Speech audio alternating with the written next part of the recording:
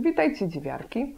Y, Dzisiaj chciałabym się z Wami podzielić y, moją metodą formowania dekoltu rzędami skróconymi. Y, To nie jest całkowicie moja metoda, ale ona mi najbardziej przypasowała, bo kiedyś poznałam mm, rzędy skrócone germańskie, ale no nie całkiem do końca one mi pasowały. Taką tajem, tajemnicę tych rzędów skróconych, których używam w tej chwili, zdradziły mi koleżanki dziwiarki z, z naszego sklepu ze Staszica i one powiedziały, one używają rzędów japońskich. No więc tajniki posiadłam i teraz używam i według mnie są to najlepsze rzędy skrócone, jakie, jakie, jakie ja znam. Koleżanki mówią, że mm, dosyć ładnie mi się te dekolty teraz układają, więc chciałabym się z Wami podzielić, bo sporo pań przychodzi do sklepu i mówi, no ja nie wiem, ja nie wiem, bo to jest trudne i no i co, no pani tak ładnie wychodzi. No więc dla tych, które nie wiedzą, które, które trochę się boją, chcę się podzielić swoją wiedzą.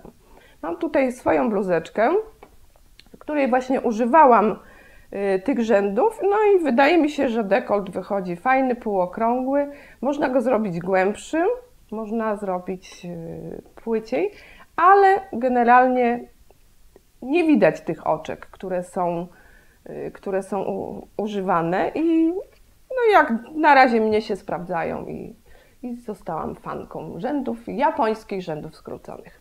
A teraz chcę Wam pokazać praktycznie, jak to się używa. Będziemy potrzebowały dwóch markerów, przynajmniej do tego dekoltu w tej chwili. Podzieliłam sobie już części reglanowe. Tutaj będzie szedł jeden pasek, tu drugi, tu trzeci, tu czwarty, czyli plecy. Plecy są tu, to jest rękaw i tu jest przód. Ja już sobie kawałek rozpoczęłam i będę teraz Wam pokazywała.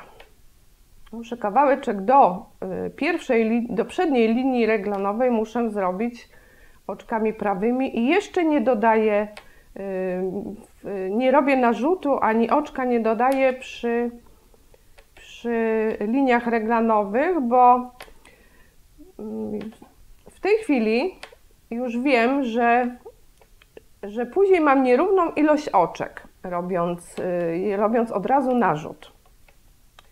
Tutaj zrobię narzuty, które będę później przerabiała i, będzie, i powstanie mi dziurka, ale y, bardzo fajnie wygląda, y, używam tego. Jeżeli nie chcę zrobić dziurki, to robię narzut z, nie z nitki poprzecznej, tylko ze stopki oczka poniżej z rzędu. Zaraz Wam pokażę. Dojadę sobie tutaj do, do oczka przed markerem, czyli tutaj tego, tego markera. Muszę wejść na stronę przodu. I teraz tak, przerabiam pierwsze oczko i z, używam już markera. Zakładam sobie marker tutaj tak na, na nitkę, obracam i ten marker muszę troszeczkę sobie przytrzymać i przerabiam to oczko. Tu mi wisi marker, taki troszeczkę możemy podciągnąć, bo to będziemy później tutaj przerabiać. I wracam lewymi oczkami do kolejnego markera, który jest też z przodu, czyli do tego markera muszę dojechać.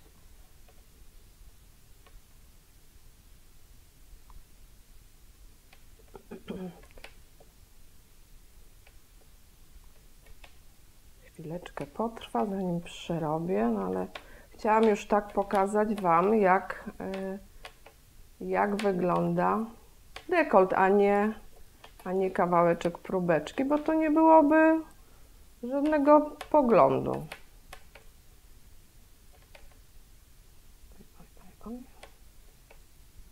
Tu mamy rękaw zakończony.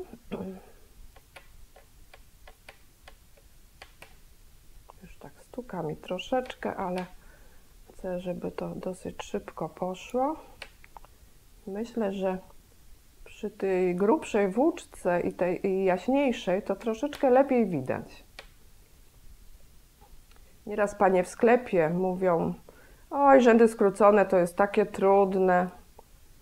Ja, ja nie dam rady. No to mówię, no nie jest to trudne. No kiedyś, ja też taka mądra, by, teraz dopiero jestem, ale kiedyś też mówiłam, ojej, rzędy skrócone, nie, to nie dla mnie, ja nie dam rady. Ale jednak. I teraz, jak już myślę sobie, że ja podołałam, no to wydaje mi się, że, że wiele z Was też, też da radę. Na spokojnie. A jeszcze kawałeczek. To nie są rzędy japońskie, to nie są jakieś tam rzędy wielkiej trudności. O, jeszcze kawałek.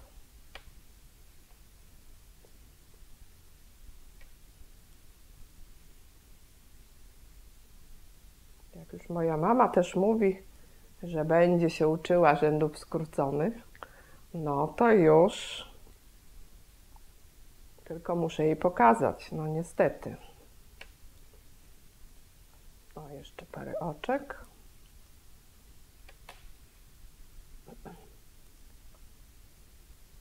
Aha, jeszcze jedno muszę Wam powiedzieć.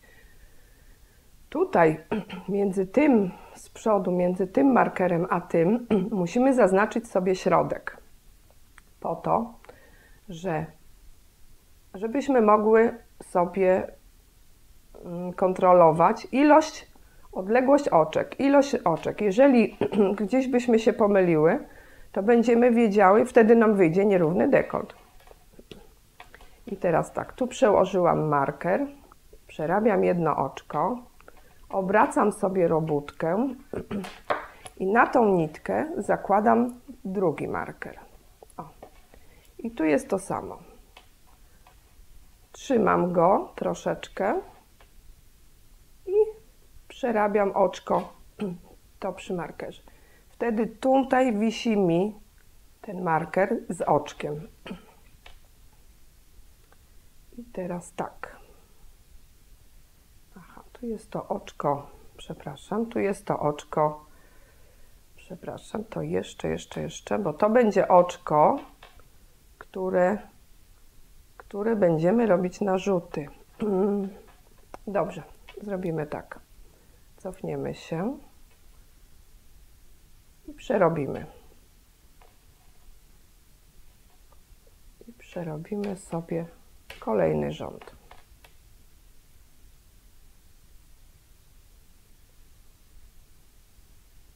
Bo to za każdym razem troszeczkę inaczej sobie zaczynam.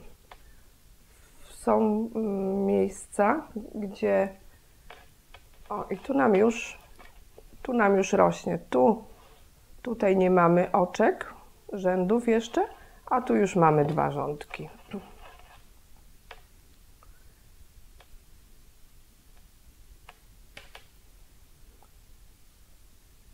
kolejnym rzędzie dopiero dodamy oczka.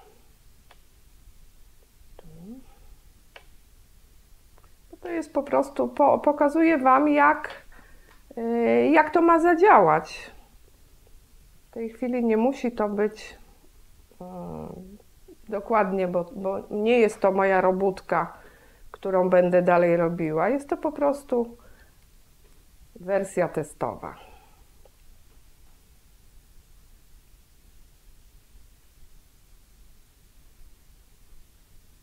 Tutaj mam środek pleców, tak jak widać. O. I to jest marker zaznaczający środek pleców. Najczęściej środek pleców mam tutaj, ewentualnie na linii reglanowej. Y, łączenie rzędów, początek i koniec, często robię na linii reglanowej wtedy, gdy chcę dołożyć inny kolor.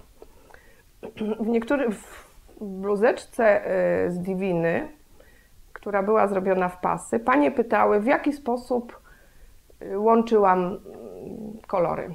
Więc kolory łączę na liniach reglanowych Tam, gdzie załamuje się, przepraszam, tam, gdzie się załamuje, y, albo dodajemy, albo robimy jakieś lewe oczka, wtedy bardzo ładnie chowają się łączenia, łączenia nitek.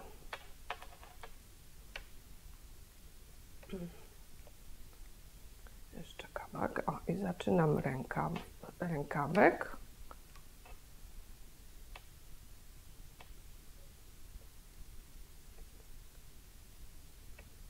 Zaraz dojedziemy tutaj do, do miejsca markera założonego i pokażę Wam, jak to połączyć. A w kolejnym rzędzie zrobię dopiero narzuty. Kolejnym prawym rzędzie, bo to narzuty robimy w prawych rzędach. O, i tutaj mamy marker łączący rękaw z przodem. Ten, to oczko, które jest na drucie, przerabiam i teraz tak. Przekładam sobie z lewego druta oczko pierwsze na prawy drut i tutaj jest oczko wiszące z, ty, z tym wiszącym markerem. Zakładam to oczko sobie na lewy drut, tak o, żeby się zmieściło. Zdejmuję marker i przekładam na lewy drut z powrotem to oczko, które zdjęłam. I teraz oba oczka przerabiam razem.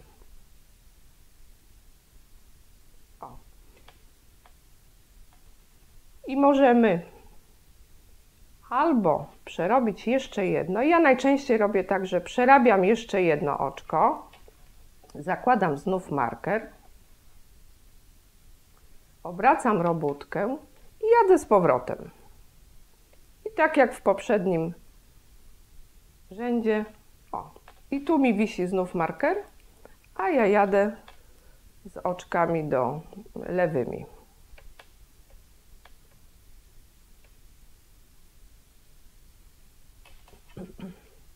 Muszę dojechać do, do tamtego drugiego markera, który, który jest z drugiej strony przodu.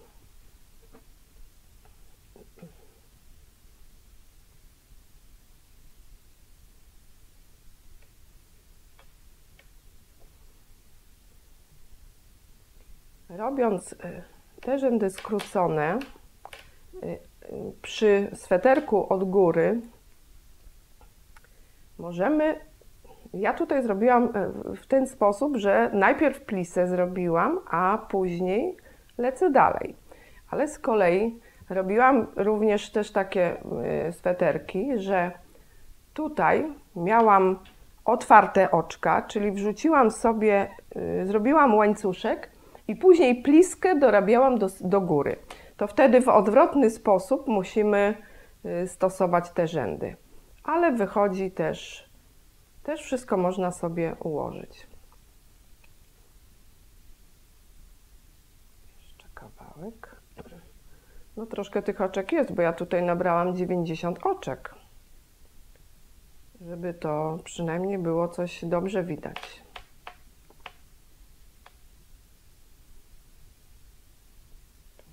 Marker.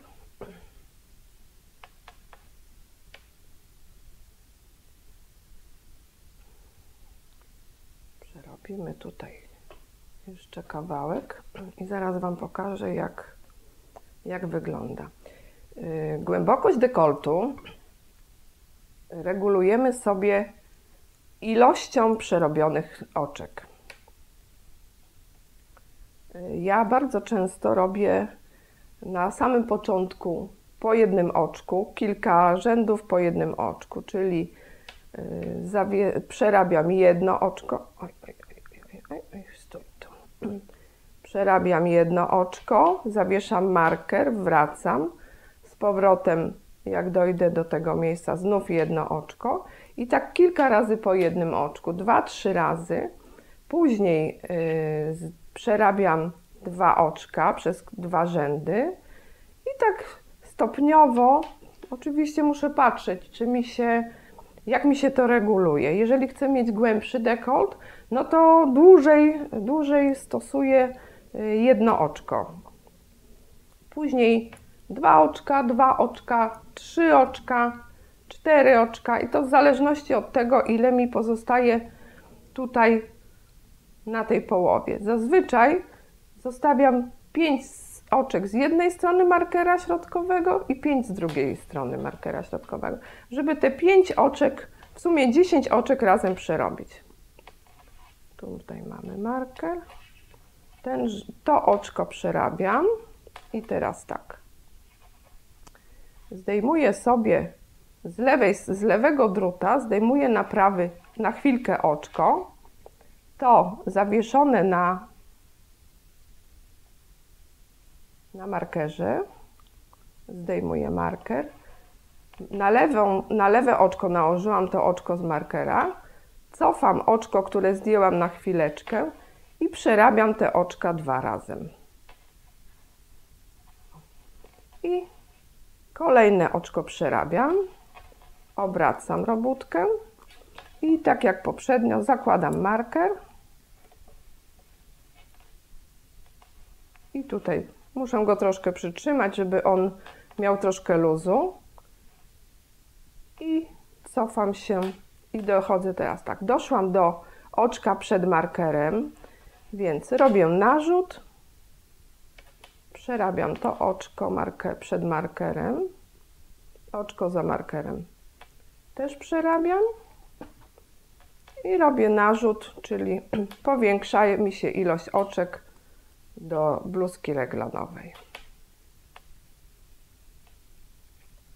I teraz dalej prosto do markera linii reglanowej kolejnego, czyli łączącego rękaw z plecami. O, i oczko przed markerem narzut oczko, marker, oczko, narzut i zaczęłam robić plecy.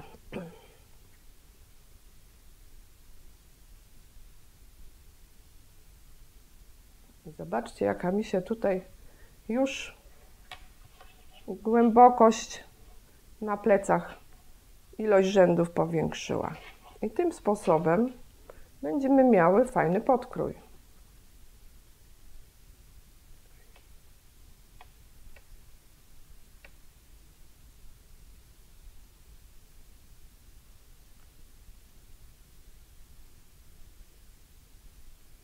Wam, że teraz to sobie nie wyobrażam, jak ja mogłam żyć bez rzędów skróconych.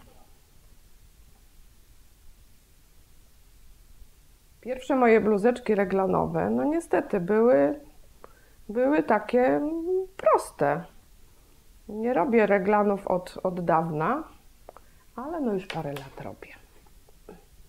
I teraz patrzę na tamte bluzeczki, a na te, no to myślę sobie, o kurczę, Staśka, aleś pojechała do przodu z wiedzą. Ale to tak, człowiek się całe życie uczy. Cały czas mówią, uczysz się całe życie. To, że ja skończyłam szkołę dziewiarską, no to niestety. Tamte czasy były całkiem inne. Innych rzeczy uczono w ogóle nie było. No, były reglanowe y, sweterki, ale one były robione od dołu i zszywane. Też takie robiłam, no ale powiem szczerze, że wygodą jest zrobić sweterek bez zszywania. A i zaraz będziemy. Już dochodzę tutaj do do końca tego rękawa drugiego.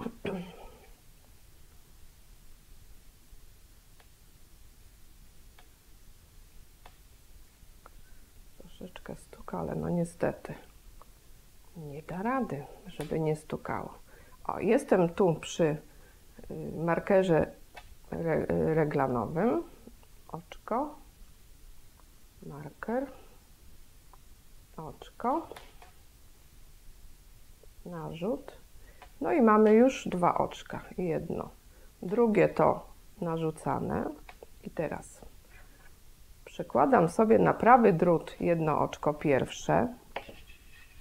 Tutaj to oczko zawieszam sobie na drucie. Zdejmuję marker. Cofam to zdjęte oczko. I teraz te dwa oczka razem muszę przerobić. O, tutaj są dwa oczka. I te dwa oczka razem przerabiam. I teraz przerobię dwa oczka. W poprzednim rzędzie było jedno, a teraz to jest dwa oczka przerobione. I tutaj zobaczcie, tak wygląda głębokość. I odwracam robótkę, zakładam marker, przytrzymam go. No nie może być y, za bardzo luźno, ale też nie może być za bardzo naprężone, bo to, to oczko musi później wejść na drut.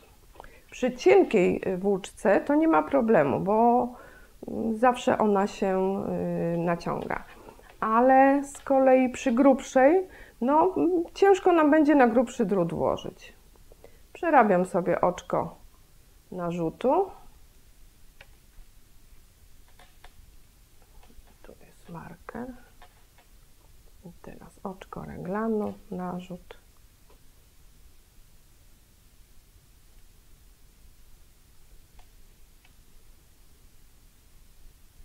Jeszcze troszeczkę.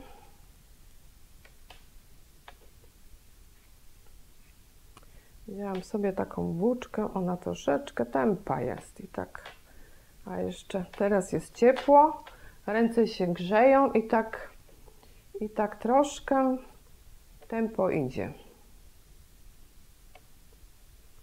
O, narzut.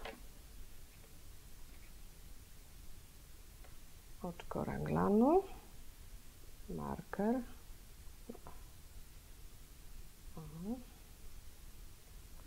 Oczko reglanu, narzut. I teraz robię plecy. Głębokość już dekoltu robi się fajna.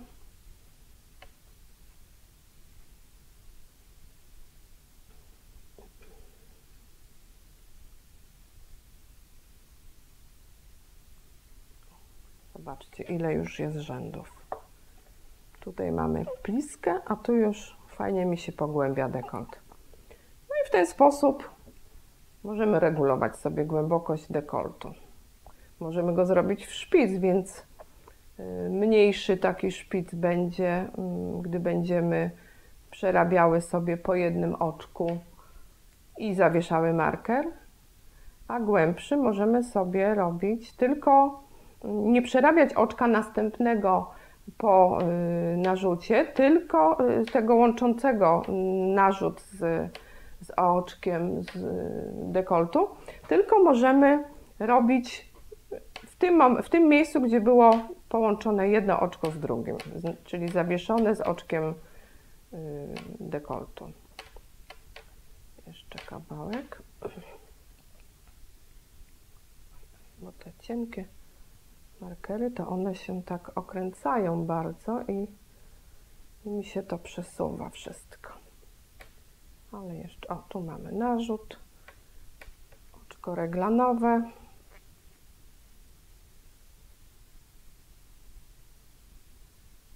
Tu oczko reglanowe, narzut i jestem na rękawie teraz.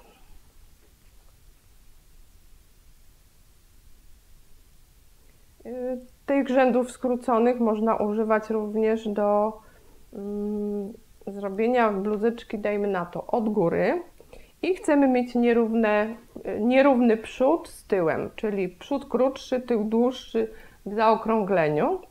No i wtedy robimy tym sposobem, tylko w odwrotną stronę.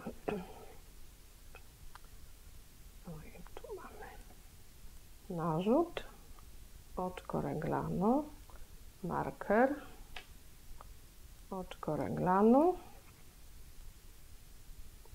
narzut i tu jesteśmy już na przodzie. czyli jedno oczko. Drugie oczko to jest to, które było przy markerze. I teraz tak, zdejmuję sobie na prawy drut to jedno oczko, pierwsze. Na lewy drut muszę założyć oczko, które wisi, marker, na którym wisi. Zdejmuję marker, odkładam go na chwilkę. Tamto oczko cofam, pierwsze, i dwa oczka razem teraz muszę przerobić. O, mamy dwa oczka. Tutaj. I te dwa oczka łapię razem na lewo i przerabiam na lewo. I teraz dwa oczka, które, na których, po których zawieszę znów marker. Zakładamy marker. Przeciągamy tu go do brzegu. Trzymam troszeczkę. Później możemy sobie podciągnąć nitkę. O, przerobione. I tutaj musi być taka mała szczelina. Praktycznie tak, żeby marker mógł się spokojnie ruszać. I jedziemy do dalej do tyłu. I zaraz Wam pokażę. O, i tutaj dochodzę do narzutu. Yy, robię kolejny narzut. Oczko przy markerze reglanowe. Znów oczko reglanowe, narzut. I już jadę teraz do, do pleców. Ja tu nie będę robiła głębokiego dekoltu podkroju, ale chcę Wam pokazać, jak to później wszystko na okrągło, bo robiąc yy, lewo, prawo, te oczka troszkę inaczej musimy, yy, te narzucone musimy łączyć. A robiąc już dookoła, na okrągło, to tam jest troszeczkę inaczej musimy zawiesić to oczko. Narzut, reglan. Tu narzut.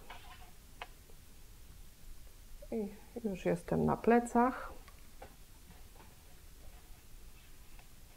Jeszcze kawalon. Takie praktycznie y, ja zrobię teraz już, przerobię tak, jakbym zrobiła sobie cały dekolt i, i y, wejdę w tą fazę, gdzie już będę robić na okrągło.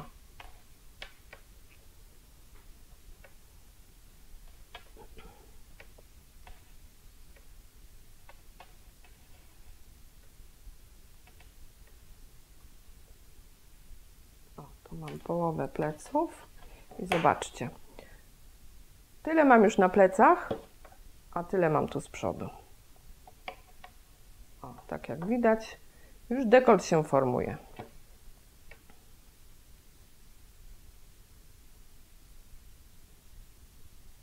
Mam nadzieję, że panie, które nie bardzo wiedziały, jak, jak sobie poradzić z rzędami skróconymi, z formowaniem dekoltu rzędami skróconymi i jakie rzędy skrócone, to możemy sobie używać y, różnych rzędów, bo no, mnie się akurat te podobają, przypadły mi do, bardzo mi przypadły do gustu i powiem szczerze, że już teraz innych nie używam, tylko te. Jakoś tak nie mogłam pojąć kiedyś, jak to jest z tą owijaną nitką w koło oczka. Coś mi nie bardzo ta nitka chciała ze mną współpracować, więc no myślę sobie, te rzędy są dla mnie. Narzut, linia reglanowa. Oj, spadło. Narzut. I teraz robię rękaw.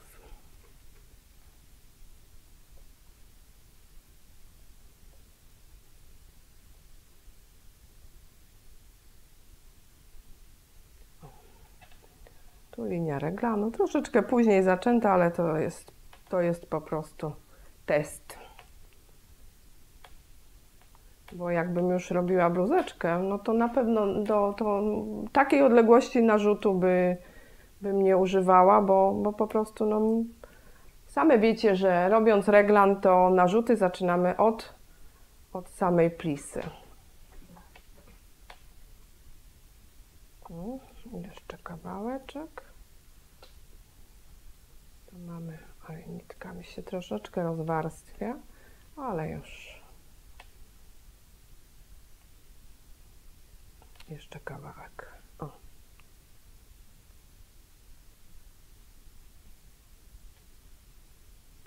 I tak, tu jestem. Tu mamy oczko zawieszone, czyli oczko to pierwsze. Teraz zdejmuję sobie oczko z lewego druta. Nitkę odkładam. Zawieszam na lewym drucie to oczko rzędu skróconego. Z powrotem przerzucam to zdjęte oczko i teraz oba oczka przerabiam razem. I teraz przerobię już dookoła. I zaraz Wam pokażę z drugiej strony marker, który jest zawieszony. Też go trzeba będzie przerobić. Jeszcze kawałek.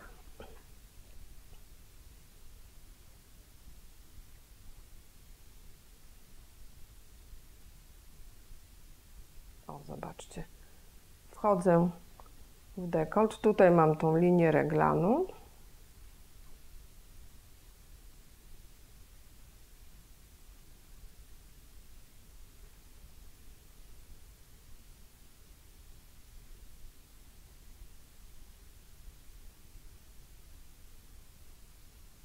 Jeszcze parę oczek.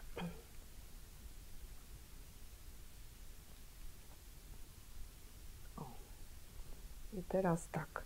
Tutaj mam oczko reglanowe, więc tego oczka ostatniego nie zdejmuję, tylko przed to oczko zakładam to oczko z markera. O, w ten sposób, tak jak tu widać, tak? I tu. I teraz zdejmuję marker i te dwa oczka, to oczko pierwsze i to oczko reglanowe, znaczy z, y, marke, z, od markera, przerabiam razem na prawo. Tylko już mi się tu, o, tu. I troszeczkę musimy sobie poregulować nitką, żeby nie było za, za ciasno i za luźno. I teraz dalej dookoła.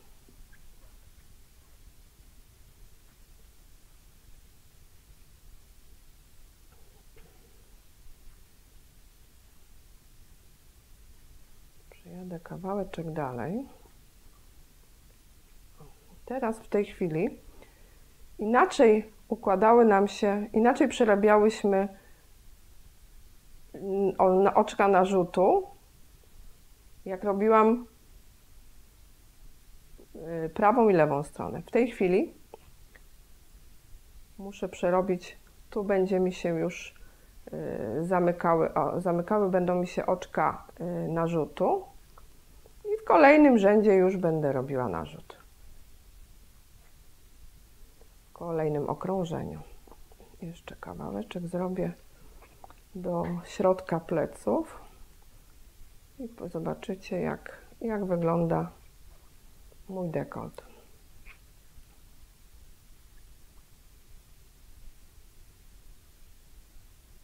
Mam nadzieję, że moja, moja ulubiona metoda rzędów skróconych również Wam się spodoba i będziecie chciały tego używać.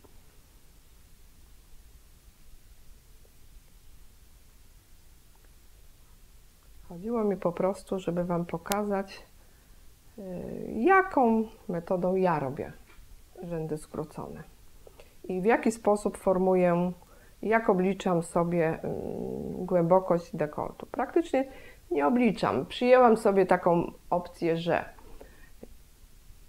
jedno oczko przerabiam, zakładam marker, wracam, w kolejnym rzędzie jedno oczko przerabiam, zakładam marker i tak trzy razy, dwa, trzy razy z jednej, z jednej strony. O, już można powiedzieć, że dojechałam do, do pleców. I zobaczcie. W ten sposób ułożę. I dekolt mój w tej chwili wygląda tak. Tu mam tyle rzędów, a tu z przodu dopiero jeden rząd. Także wydaje mi się, że jest to całkiem sympatyczna metoda i, no i polecam wszystkim. Wszystkim, które nie potrafią albo może nie znały tej metody. Także tyle na dzisiaj. Dziękuję Wam bardzo i pozdrawiam serdecznie. Do zobaczenia.